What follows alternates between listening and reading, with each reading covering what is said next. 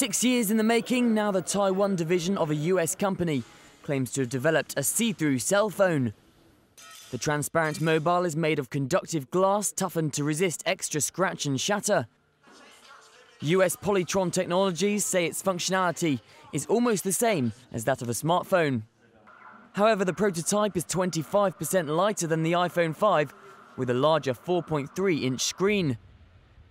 The phone can display images on both front and back, but can only be touch activated on one side.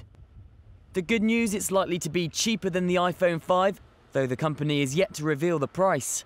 It's predicted that we'll see and see through the mobile phones on the shelves within the year.